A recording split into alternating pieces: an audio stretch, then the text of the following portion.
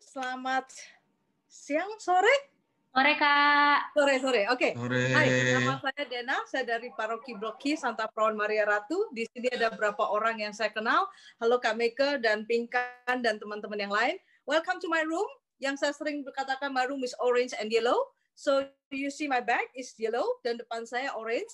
So welcome again. Um, saya hari ini dapat uh, tema yang cukup challenging dengarkan dia. Bagaimana mendengarkan suara Tuhan? Hmm, ini challenge sekali. Tidak segampang yang kita pikirkan selama ini adalah, uh, oh, audioly he say something like move, atau audioly he say something like, okay, sekarang you stop. How do you know? Waktu saat-saat you have to stop, you have to move, you have to go right or, or, or left or, or wherever. Jadi hari ini um, saya tidak akan mengatakan banyak um, um, um, apa uh, bagaimana menangkap, tapi bagaimana sikap kita. Mari sama-sama kita lihat Mar, uh, Markus 10 ayat 46 sampai 52. Oke okay, ya. Yes, right. Thank you. Saya bacakan yang punya kitab suci silakan uh, saya mau cerita sedikit. Kitab suci nanti tahun depan ada translation baru ada terjemahan baru yaitu lebih gampang dimengerti. Uh, terjemahan yang anda pakai ini tahun 74 which is um, sudah banyak kata-kata yang yang akan diperbarui supaya lebih gampang. Jadi saya baca ini adalah translation baru. Ya tahun depan itu kitab suci akan keluar translation baru perjanjian lama dan perjanjian baru. Tapi uh, yang perjanjian baru ini sudah diterjemahkan tahun 70 eh 96 which is eh sorry 2008 eh so ya 96. So ini saya baca sedikit mungkin agak berbeda dengan apa yang kalian ada, tapi uh, mari kita menyimak satu persatu. Markus 10 ayat 46 sampai 52. Oke? Okay? Perhatikan apa reaksi Yesus waktu orang buta itu memanggil dia? Oke, coba. Lalu uh, judulnya adalah Yesus menyembuhkan Bartimius. Lalu tibalah Yesus dan murid-muridnya di Yeriko.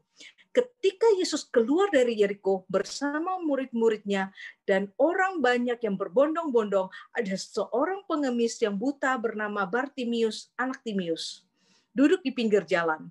Ketika didengarnya bahwa itu adalah Yesus orang Nazaret, mulailah ia berseru, Yesus anak Daud, kasihanlah aku. Banyak orang menegurnya supaya ia diam, namun semakin keras ia berseru, anak Daud, kasihanlah aku. Yesus berhenti dan berkata, ah menarik, Yesus berhenti dan berkata, panggillah dia. Mereka memanggil orang buta itu dan berkata kepadanya, teguhkanlah hatimu, berdirilah ia memanggil engkau. Orang buta itu pun menanggalkan jubahnya, lalu segera berdiri dan pergi kepada Yesus. Tanya Yesus kepadanya, apa yang kau kehendaki ku perbuat bagimu? Agak sedikit beda ini. Apa yang kau kehendaki ku perbuat bagimu? Jawab orang buta itu, Rabuni, aku ingin dapat melihat. Lalu kata Yesus kepadanya, excuse me, pergilah imanmu telah menyelamatkan engkau. Saat itu juga ia dapat melihat, lalu ia mengikuti Yesus dalam perjalanannya. Mari kita berdoa sebentar. Dalam nama Bapa, Putra, dan Roh Kudus. Amin. Roh Kudus kami mengundang Engkau hadir. Hadir di mana kami berada. Hadir di mana kami ingin bertemu dengan Engkau. Hadir di mana kami sungguh-sungguh rindu melihat, mendengar, bahkan mengalami Engkau. Dan pada siang hari ini, datanglah, bergemalah di dalam hati kami, bahkan di setiap sel tubuh kami. Dan biarlah siang hari ini apa yang saya bawakan akan menjadi satu iman baru, iman yang menjegarkan, iman yang membawa sukacita, di mana Dena semakin kecil dan Yesus semakin besar, sehingga sungguh roh kudus engkau bebas bekerja, bebas menyentuh setiap sel tubuh kami, dan kami siap untuk membuka diri menangkap cintamu. Semua orang kudus, terutama Bunda Maria, doakan saya pada saat ini. Kemuliaan kepada Bapa dan Putra dan Roh Kudus seperti pada permulaan, sekarang, selalu, dan sepanjang segala abad. Amin. Dalam nama Bapa, Putra, dan Roh Kudus. Amin. Oke, teman-teman. Saya akan sedikit menceritakan Bartimius. Ini menarik. Bartimius di cerita ini dikatakan dia seorang pengemis, ya. Dia duduk di pinggir jalan, oke? Okay? Anggap saja sekarang di depan rumah kamu, di dua dua rumah di depan kamu, itu ada seorang pengemis yang duduk di sana. Bartimius. Kenapa tahu nama Bartimius? Kalau um, si buta itu duduk, pengemis itu duduk dua tiga hari, belum tentu kamu dan saya tahu namanya. Tapi kalau sudah bertahun-tahun, bahkan tahu orang tuanya namanya siapa, berarti dia nggak satu dua hari berdiri di, duduk di situ. Nah, yang menarik di situ, yang menarik di sini adalah orang buta Orang buta ini sedang duduk dan kemudian Yesus lewat. Dan dia berteriak, Tuhan, anak Daud kasihanilah aku. Yang menarik di sini, kenapa si buta begitu yakin itu Yesus? Kenapa si buta ini begitu yakin janji di perjanjian lama mengatakan Mesias adalah keturunan Daud dan itu adalah Yesus. Oke. Pertama, saya mau mengajak kita melihat satu hal. Seorang pengemis yang namanya pengemis tuh nggak punya status, nggak punya martabat, nggak punya segala macam. Maka minta segala setiap kali direndahkan orang, tetapi jangan lupa namanya ada tertulis di dalam kitab suci. Is amazing. Sesuatu yang harus diingat, justru semakin kita dianggap rendah, semakin ditinggikan oleh Tuhan. Dan ini yang menarik di sini adalah si Bartimius duduk di situ. Orang buta ini menarik ya. Saya pernah punya pengalaman ke Taizé, punya sekelompok dengan orang, orang buta. Orang buta ini gini, eh, besoknya ketemu karena kita sekelompok, jadi sempat hari di situ, terus si buta bilang gini, today I'm wearing black color. I'm like, wow, wow, how do you know? Bagaimana lu tahu itu black color? Terus dia bilang, waktu orang kasih saya, saya memegang semua baju itu, fabric dan segala macam, dan saya menemukan ada dua kancing di sini dan saya ingat itu waktu saya tanya warna apa, dikatakan itu adalah warna hitam. Nah, saya bertanya, kapan orang kasih baju ini ke kamu? Saya ketemu dia Oktober, dia bilang Christmas, last Christmas, that mean about 10 month, dan dia masih ingat. Saya tanya dia, bagaimana kamu masak? Dia orang Belanda ya. Dia orang Belanda. Terus dia bilang, oh, you smelling. Bagaimana kamu smell itu? Itu burn or not? Apa? Uh, dia bilang, setiap kali kalau saya mau lakuin sesuatu, saya berimajinasi dan saya eh saya ber, uh, saya memegang dan saya mendengarkan, saya bisa tahu itu. Saya tanya dia, apa yang membuat kamu paling tersinggung? Waktu saya naik bus, kalau ada anak-anak atau dari jauh ada orang bisik ini, ada orang buta, ada orang buta, ada orang buta itu buat saya tuh tersinggung sekali. I'm same with you. Saya sama dengan kamu. Tapi kenapa saya di treat differently? Bartimius, selain dia seorang pengemis, dia seorang buta. Dia seorang yang tidak dihargai dan tidak bisa melihat. Tapi bayangkan, setiap hari, apa yang dia lakukan? Dia duduk di situ, ada orang lewat. Eh, lu tahu nggak sih, ada Yesus yang canggih banget, yang baru kasih 5.000 orang makan. Eh, lu tahu nggak sih, Yesus yang menyembuhkan orang lumpuh. Oh, lu tahu, dia mendengarkan waktu dia duduk di situ orang keluar masuk dan dia hari itu mendengar bahwa Yesus akan datang. Momen itu tidak akan menjadi momen yang dia lupakan. Momen itu menjadi kesempatan dia untuk teriak supaya Yesus berhenti. Teman-teman saya mau bertanya, berapa kali kita berteriak sampai Yesus berhenti? Berteriak di sini adalah berdoa. Anak Daud, kasihanilah aku. Ini adalah statement yang dipakai setiap kali kita misa, ekaristi. Di situ ada Tuhan kasihanilah kami. Itu adalah teriakan 10 orang buta juga mengatakan, e, Guru kasihanilah kami. Artinya apa? Itu teriakan orang yang depresi, teriakan orang yang sudah tidak ada harapan, teriakan orang yang tidak pernah dianggap, teriakan orang yang sungguh-sungguh very low, dan hari ini dia teriak karena dia tahu teriakan itu akan membuat Yesus berhenti. Cerita pertama, sorry, uh, poin pertama adalah seorang yang tidak dianggap tapi teriak sampai Yesus berhenti. Poin yang kedua yang menarik di situ. Waktu dia teriak, ada orang datang ke dia, suruh dia diam. Hei, diam. Tegur dia mengatakan diam. Kamu siapa? Kamu orang buta dong sih? Kamu tuh nobody. And Yesus baru, Yesus tuh guru, keren banget. And you're nobody. Tapi dia teriak lebih kencang. Poin yang kedua, punya reaksi mendengar, mencari, menangkap cinta Yesus. Don't ever give up. Don't ever give up. Belajar dari Bartimius. Dia nggak pernah give up. Sampai Yesus berhenti dan bertanya, siapa yang memanggil saya? Teman-teman, menurut teman-teman bagaimana? Apakah Yesus tahu siapa yang memanggilnya? Tapi apa yang dia lakukan Yesus? Panggil dia. Dia minta muridnya, dua muridnya untuk memanggil si Bartimius kepada dia. Ini cuma ini cuma mengingatkan kita kita bisa sangat dibutuhkan oleh Tuhan menjadi mulut, tangan, kaki membawa orang kepada dia. Tapi poin saya hari ini gak di situ, tapi poin saya di Bartimius. Bartimius kemudian apa yang dilakukan? Dua orang yang datang kepada dia dan katakan, berdirilah. Um, coba uh, ayat ke 40 uh, ayat 49. Yesus berhenti dan berkata, panggillah dia. Mereka memanggil orang buta itu dan berkata kepadanya, teguhkanlah imanmu, berdirilah, ia memanggil engkau.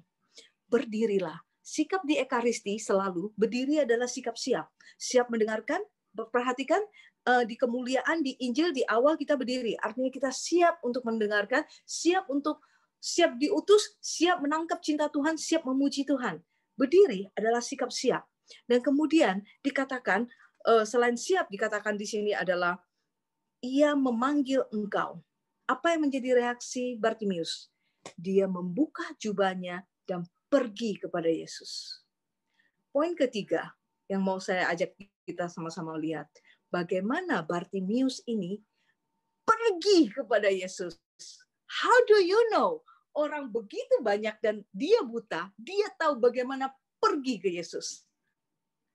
Pergi adalah sikap di mana dia siap dan dia mau membuka jubahnya. Jubah, apa itu arti jubah? Kenapa mendadak muncul satu kata jubah? Jubah adalah sesuatu yang ingat Yusuf juga punya jubah yang bagus dan kemudian adik kakak-kakaknya itu jealous dan kemudian dia di, di, di uh, tidak disukai jubah. Anak yang hilang kembali ke bapak itu jubah. Semua dikatakan jubah adalah tanda martabat. Jubah adalah tanda kayak ini seperti seperti kalau kita ke pesta, kita bisa melihat kok orang ini bajunya bagus banget. Levelnya pasti lebih, ya kan? Orang ini atau raja, oh dia pakai ini berarti dia raja. Ya. Artinya, jubah adalah identitas dan pengemis satu-satunya yang dia punya adalah jubah. Di mana dingin dia pakai, malam dia pakai, dan jubah adalah identitas dia yang bisa orang lihat bahwa dia pengemis atau dia raja atau apa pun. Dan hari itu dia melepaskan identitasnya dan dia lari ke Yesus. Teman-teman, kamu dan saya juga memakai jubah. Jubah yang mungkin orang lain tidak bisa melihat, tapi kita tahu apa itu jubah kita. Keegoisan kita apa jubah kita? Kesombongan kita. Apa jubah kita? Keterikatan pada materi, pada barang, itu semua tuh melekat dengan kita. Dan hari ini kita belajar, Bartimeus membuka itu lari kepada Yesus. Bartimeus berdoa tanpa henti, tanpa putus asa, dan dia tahu untuk mencapai Yesus adalah harus membuka jubahnya. Hari ini saya mau mengajak teman-teman, mari kita mulai melihat jubah kita ini apa. Dan apakah kamu dan saya siap untuk membuka itu dan lari pada Yesus. Dan cerita ini menarik. waktu dia membuka jubahnya, nah Yesus. Sense begitu luar biasa, padahal dia buta. Saya tidak tahu bagaimana, tapi ini mau mengatakan kepada kita, kalau kamu dan saya mau rela membuka jubah kita, kita bisa melihat sesuatu yang mungkin selama ini kita tidak bisa melihat, yaitu sebuah cinta yang luar biasa sudah disiapkan untuk kita, untuk kita mencapainya. Saya bukan dari, ini saya lihat banyak orang baru, saya cuma mau cerita sedikit. Saya dari anak broken home. Saya dari anak yang suka dibeda-bedakan saya nggak pernah terpikir bahwa satu hari saya akan seperti ini, menjadi uh, pembicara, menjadi dewan paroki, menjadi uh, pewa, macam-macam gitu. Saya nggak pernah ter terpikir karena buat saya orang yang ikut acara-acara rohani itu ada orang-orang yang nggak asik, ya. Coba nyanyi angkat tangan, memuji Tuhan tanpa musik bisa sendiri, ah norak buat saya itu nggak mungkin. Tapi hari ini saya juga belajar dari Bartimius.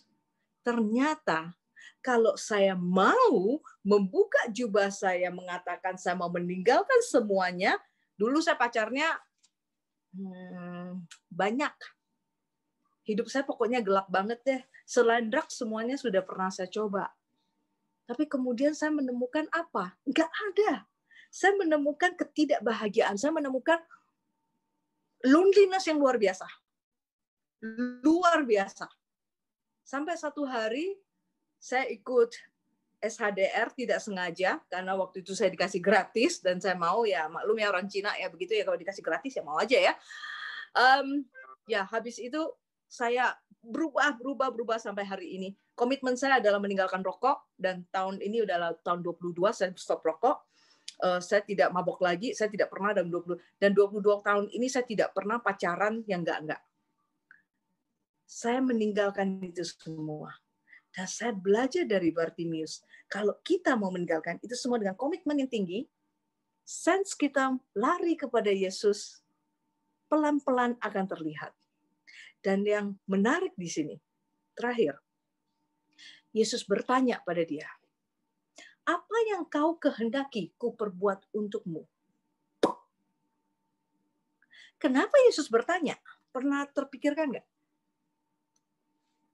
Saya kasih satu ilustrasi. Kamu pulang ke rumah. Tanpa kamu pulang ke rumah, kamu pulang kerja atau kuliah atau ke, atau sekolah apa pun apa pun kuliah lagi mungkin atau lagi main hand yang ya sinetron adikmu lagi main laptop atau komputer atau apa pun lah apa pun gitu.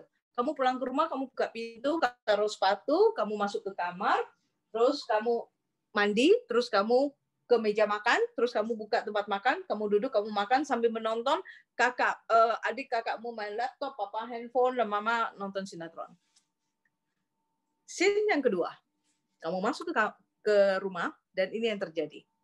Saya pulang, terus mamanya langsung, oh oke. Okay. Mungkin reaksinya tidak terlalu menyenangkan. Papanya, oh ya pulang ya, oke. Okay. Terus apa yang terjadi? Lu bisa ngomong gini, mah sinetron ginian ditonton apaan sih? Gitu kan? Mulai ada komunikasi dan papanya, Pak lagi baca apa? Ih gila. Mulai cerita. Adik kakak, lu main game apa sih? Mulai ada komunikasi. Dan begitu lu keluar, lu mandi, lu keluar duduk di meja makan, temenin aku makan dong, mah, temenin aku makan dong itu ada satu relasi yang sangat berbeda. Yesus start duluan untuk mau punya relasi dengan kita. Dan ini terbukti dengan dia start duluan bertanya kepada Bartimius, apa yang kau kehendaki ku perbuat untukmu? Dan gue suka banget jawaban Bartimius. Aku mau melihat. Dia nggak ngomong gini. Pertama-tama Yesus, tahu nggak sebelum saya ke sini itu tuh tadi ada orang yang stopin saya. Hukum dia hukum dia dulu. Enggak dia to the point dia mau melihat. Poin yang pertama berdoalah sampai Yesus berhenti. Poin yang kedua don't ever give up mencari cinta Yesus. Poin yang ketiga lepaskan jubahmu lepaskan kelemahanmu, lepaskan apa yang menjadi keterikatanmu yang membuat kamu jauh daripada Tuhan. Poin yang keempat, ingat, setelah kita melakukan ini, Yesus mau punya relasi dengan kita. Dan begitu relasi ini tercipta, apa yang terjadi? Kamu dan saya akan melihat dengan cara berbeda. Kamu dan saya akan menikmati seperti yang Yesus katakan. Pergilah, yaitu pergilah bermisi, melayani, mencintai, imanmu telah menyelamatkan. Iman. Apa itu iman? Iman itu saya bikin simple aja. Kenapa ada orang ateis yang tidak tidak percaya pada Yesus? Ada orang melihat salib terus bilang, ih gila, keren banget, aku nggak tahan. Ya, ah, terharu gitu. Tapi ada orang bilang, lu bodoh amat sih, bodoh banget sih, apaan sih itu lu percaya ginian? Iman muncul kalau kamu dan saya respon dengan cintanya. Kalau kamu dan saya mau respon dengan cintanya, maka iman kita akan menyelamatkan, yaitu iman kita akan membawa kita pada sukacita, pada satu perbuatan baik, pada semua kreativitas dan yang lain-lain. Dan at the end, pada saat itu juga, ayat berikutnya dikatakan, pada saat itu juga dia dapat melihat. Kalau kamu dan saya punya keteguhan seperti Bartimius, orang buta itu, maka kita akan melihat cinta Tuhan dengan cara yang baru. Dan yang terakhir, ia mengikuti Yesus dalam perjalanannya. Perhatikan dalam bacaan tadi, Bartimius di awal. Tapi kemudian di berikut-berikutnya tidak ada lagi nama Bartimius, tapi orang buta itu, orang buta itu, orang buta itu. Bartimius mewakilkan kita semua. Kita ini adalah orang-orang buta yang betul perlu dicelikkan matanya. Dan ingat, waktu kita sudah dicelikkan matanya, kita akan mengikuti perjalanan bersama dengan Yesus. Teman-teman, berjalan bersama Yesus is not always fantastic. Berjalan bersama Yesus is not always colorful, bright, nice. Kita semua tahu, Yesus mengalami cercaan. Kita kita tahu bahwa semuanya Yesus mengalami apa? Jalan salib yang luar biasa. Perjalanan hidup kamu dan saya tidak selalu colorful and fantastic. Perjalanan kita akan diku-diku. Tidak ada semua family yang perfect. Tidak ada pekerjaan yang bosnya perfect. Tidak ada pacar atau apa pun yang perfect. Tapi bagaimana kamu dan saya bisa belajar dari Bartimius untuk sungguh-sungguh bisa melihat dan mengikuti perjalanannya. Hari ini saya mau mengajak pertama, belajar dari seorang pengemis yang namanya tertulis dalam kitab suci. Apakah kamu mau? Saya sih mau banget, ya. Pertama, berdoa mencari Tuhan. Yang kedua, kalau tidak bisa dapat dengar dan dapat menemukan Tuhan, don't ever give up. Biarpun ada orang bilang, udahlah, lu udah bertahun-tahun doa ini udahlah, udah. Don't ever give up. Yang ketiga, untuk bisa kita sadar menangkap cinta Tuhan lebih lagi dan pergi pada Dia, kita harus menanggalkan jubah kita menanggalkan apa yang selalu kita pakai, yang kita sombongkan, yang kita merasa ini yang terbaik, ini yang bagus. Nah, belajarlah punya kerendahan hati. Yang keempat, ingat, Tuhan Yesus mau punya relasi dengan kamu dan saya. Yang kelima, kalau kita sudah punya relasi, kita bisa lebih peka terhadap Tuhan dan kita bisa jalan bersama dengan Dia. Maka hari ini, ini yang menjadi poin bagaimana kita mau mendengarkan. Aku tidak tahu, aku tidak bisa mendengarkan suara Yesus yang fantastik, tapi aku tahu, aku belajar dari Bartimius. Kalau aku mau melangkah, aku mau merendahkan, uh, mau punya kerendahan hati, aku mau sembuh, maka saya akan punya mata hati yang terbuka melihat cinta Tuhan. Saya ending dengan satu cerita. Anggap saja ada satu orang namanya Stephen. Oh, sorry, there's a Stephen here, right? Oh, sorry. Oke, okay. uh, anggap oke, okay, Stephen, Stephen, Stephen. Gak apa-apa ya, cuma contoh ya. Um, Stephen adalah orang yang sangat rajin olahraga, makan bagus, segala macam, sangat sehat. Suddenly dia collapse. Tidak diceritakan di cerita ini dia ikut Tuhan, ngerti Kristen apa tidak, aku tidak tahu. Satu hari dia collapse. Dia collapse, terus kemudian dia ke dokter, dan dokter langsung bilang gini, kamu punya uh, apa namanya, what call that, uh, uh, uh, cancer sudah stadium terakhir stadium 4 dan ini bahaya sekali. Kamu harus segera di kemo. Dia kaget. Dia kaget, dia marah, dia marah pada keluarga, dia marah pada Tuhan, dia marah pada, pokoknya nggak tahu, pokoknya dia marah aja bawahnya. Dia bilang, saya nggak mau kemo. Dia pulang.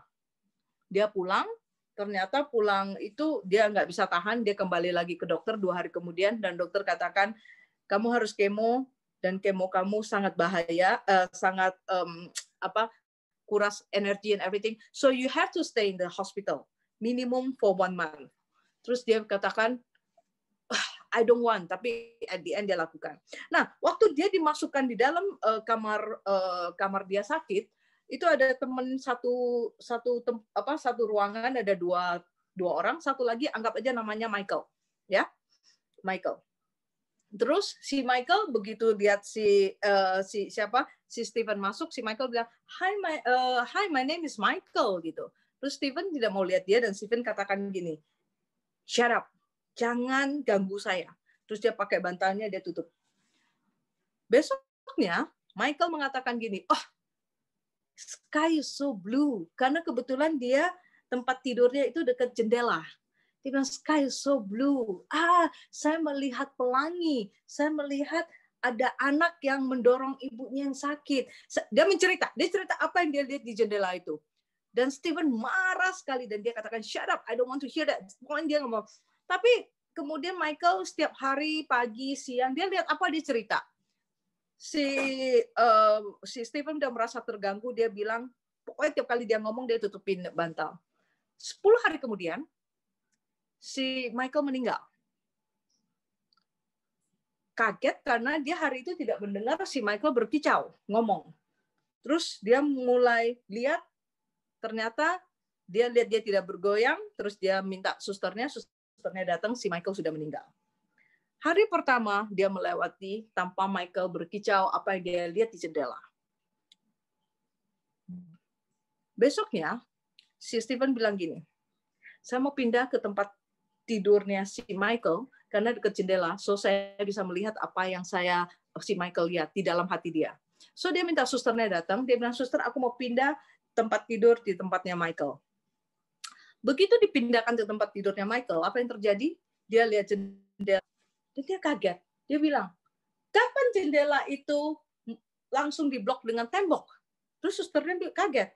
Dia bilang, rumah sakit ini berblok, ada tiga blok. Dan blok ini memang blok di mana tembok uh, jendelanya hadap ke tembok gitu. Dia bilang nggak mungkin. Karena Michael setiap hari cerita apa yang dia lihat di jendela ini? Dia lihat rainbow, dia lihat burung, dia lihat uh, pounds, dia lihat macam-macam dia dan dia cerita ke saya. Sekarang kamu bilang ini tembok ada dari dulu, is impossible. Teman-teman tahu apa yang dijawab oleh suster itu? How come? Karena si Michael ini buta. Teman, apa yang kamu dan saya lihat? Kita sudah jelas-jelas fantastically punya mata yang bisa melihat.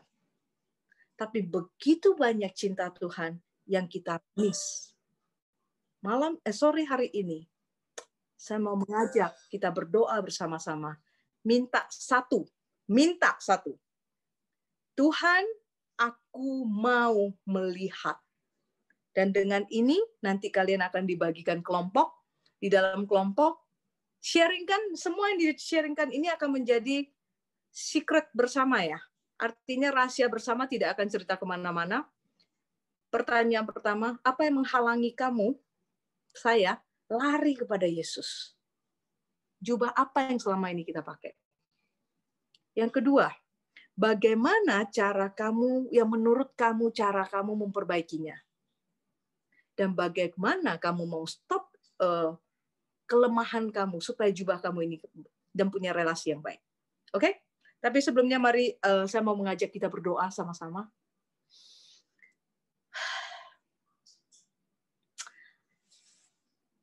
Dalam nama Bapa, Putra, dan Roh Kudus. Amin. Roh Kudus kami mengundang kau hadir sekali lagi. Hadir di detakan jantung kami.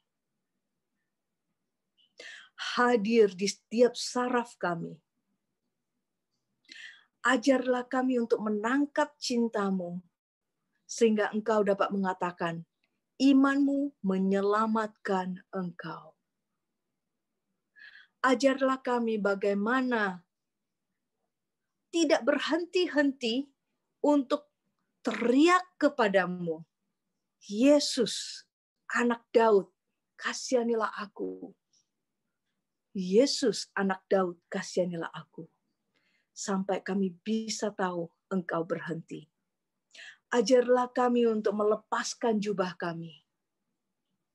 Ajarlah kami untuk punya relasi yang asik denganmu ajarlah kami untuk melihat segala sesuatu dengan caramu. Tuhan, sore hari ini kami mau melihat. Kami mau melihat dengan mata iman kami untuk kehidupan kami yang tidak menentu ini. Untuk melihat kondisi keadaan yang sangat menyebalkan ini kami mau belajar dari Bartimius untuk never give up, untuk mencari dan mendengarkan Engkau. Mari kita hening sejenak, membiarkan diri kita dipenuhi dengan roh kudus. Roh yang menyala-nyala. Roh yang menangkap kita supaya kita masuk di dalam lingkaran cinta Yesus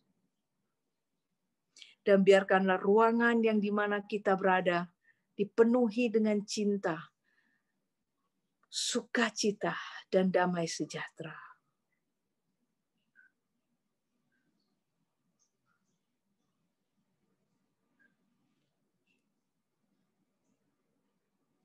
Belajarlah Tuhan seperti uh, ajarlah kami untuk mengikat, mengikuti Engkau sepanjang perjalanan hidup kami.